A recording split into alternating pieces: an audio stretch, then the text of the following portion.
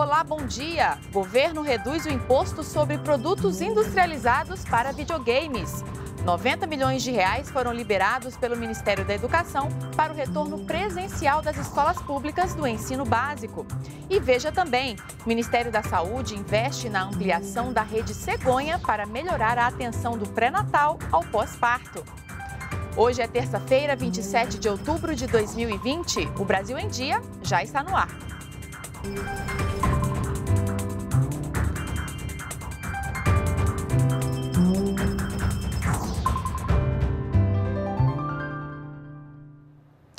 9 horas e 45 minutos, estamos ao vivo também pelas redes sociais. 90 milhões de reais foram liberados pelo Ministério da Educação para apoiar o retorno presencial seguro às aulas nas escolas públicas do ensino básico. Os recursos entram direto na conta das escolas, por meio do programa Dinheiro Direto na Escola, e se somam a mais de 500 milhões já liberados no início do mês. O recurso vai reforçar o caixa de 117 mil escolas públicas estaduais, distritais e municipais. A ideia é que elas possam adquirir e contratar serviços e equipamentos para pôr em prática os protocolos de segurança contra o coronavírus para retorno às aulas presenciais. A verba de 90 milhões de reais se soma aos 525 milhões já repassados às escolas por meio do programa Dinheiro Direto na Escola, totalizando 615 milhões de reais. No começo do mês, o Ministério da Educação já havia publicado um manual com recomendações para o retorno seguro às aulas. Entre as recomendações está a aferição da temperatura, o uso obrigatório de máscara, respeito ao distanciamento social e manter dispensadores de álcool em gel 70% nas salas de aula e demais ambientes da escola. Em tempos de pandemia, além de garantir a segurança das provas, a aplicação do Enem inclui uma série de desafios. Os locais do exame devem ser ampliados para garantir o distanciamento e todos os protocolos de saúde devem ser seguidos à risca.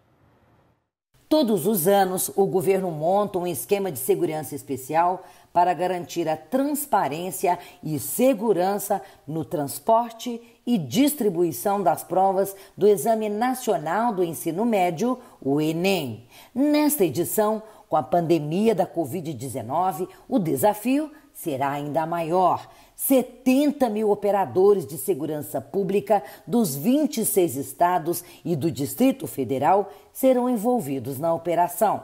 A Polícia Federal ficou responsável pela parte de inteligência e prevenção a um possível fraude. As polícias civis, militares e guardas municipais ficaram responsáveis pelo apoio logístico e reforço aos pontos de prova.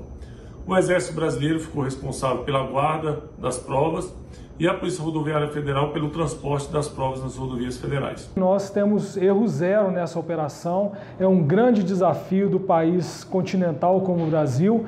Esse ano nós temos cerca de 5 milhões, 5,7 milhões de inscritos e 20% no aumento dos locais de prova devido à pandemia. Além da segurança e do transporte, a pandemia da Covid-19 trouxe outras mudanças a esta edição do Enem e a capacitação dos colaboradores será toda virtual. Adotamos medidas preventivas para garantir a produção, o manuseio e a distribuição das provas com segurança.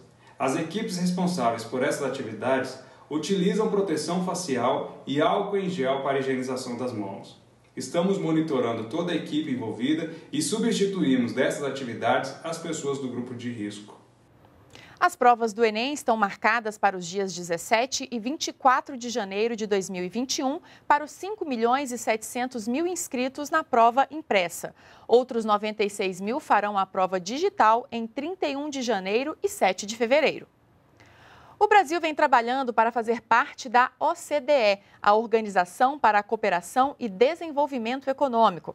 E para isso, tem que cumprir uma série de requisitos. Hoje, a entidade apresentou dois estudos sobre a era digital e as telecomunicações no Brasil.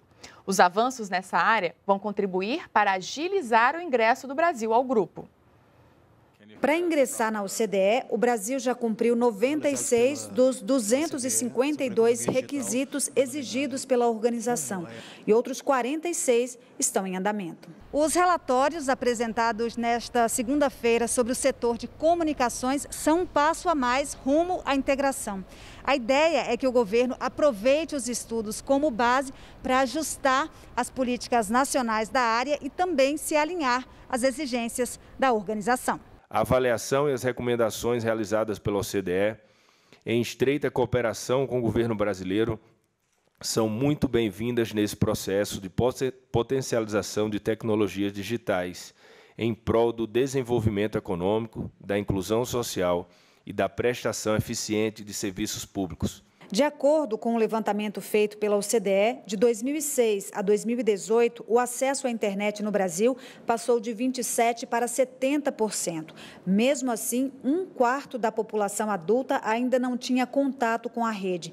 A cada 100 habitantes, 90 usavam banda larga, mas com velocidade de conexão reduzida. E apenas 54% das microempresas brasileiras tinham seus próprios sites. Do levantamento saíram recomendações práticas que vão desde a integração de políticas públicas, ampliação do acesso à internet e melhoria da infraestrutura de rede, além da proteção de dados e ajustes fiscais. A OCDE continuará a trabalhar com, mas também para o Brasil, para uma, uma melhor reconstrução e para projetar, desenvolver e oferecer melhores políticas digitais de telecomunicações, de radiodifusão para uma vida melhor. O Brasil certamente tem muito a aproveitar com a aproximação e ao tornar-se membro, eventualmente, da OCDE.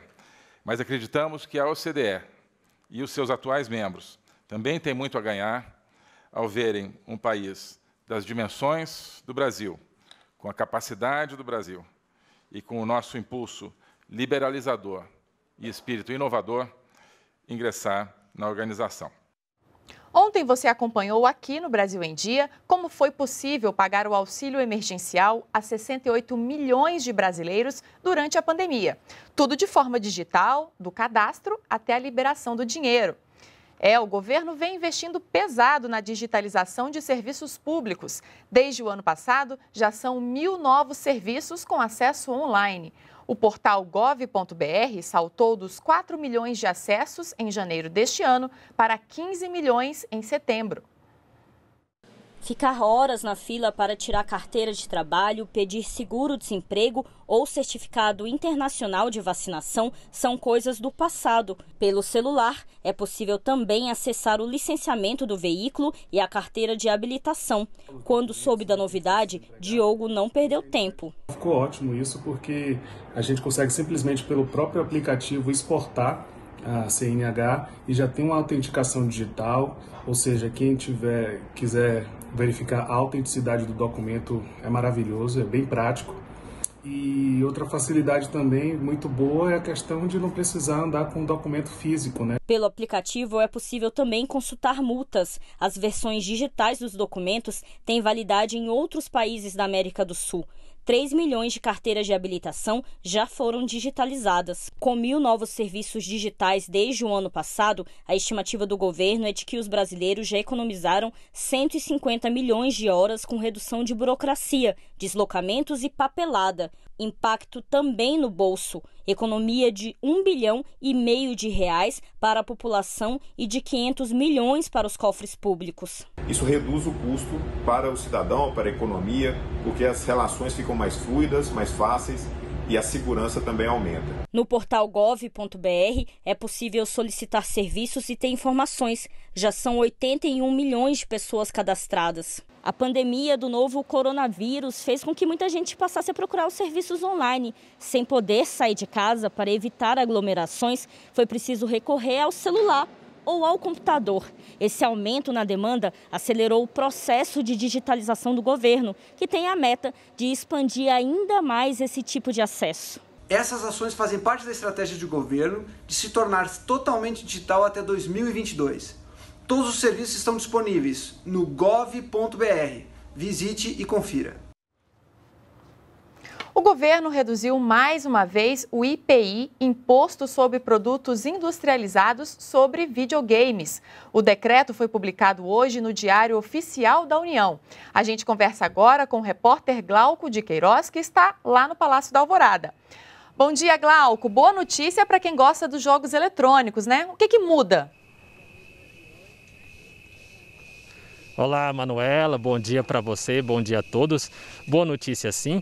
É, com, de acordo com o texto publicado, as, ficam reduzidas as alíquotas do IPI de 40% para 30% para máquinas e jogos, é, máquinas e consoles de jogos de videogame, de 32% para 22% para partes e acessórios e de 16% para 6% aí para máquinas com tela incorporada, portáteis ou não. De acordo com o Planalto, o impacto na arrecadação dessa medida deve ser aí de 2 milhões e 700 mil reais em 2020 e de 36 milhões em 2021. E com isso, Manuela, o governo, pretende incentivar essa indústria aqui no país, que é uma das que mais cresce em todo o mundo na área de entretenimento. E olha, aqui no Palácio da Alvorada, o presidente Jair Bolsonaro cumpriu já a agenda bem cedo. Às 8 horas da manhã ele participou do hasteamento da bandeira e logo na sequência aí, aqui mesmo também no Palácio da Alvorada, ele deu início à reunião do Conselho de Governo, que deve se estender aí por toda a manhã. Manuela, com você.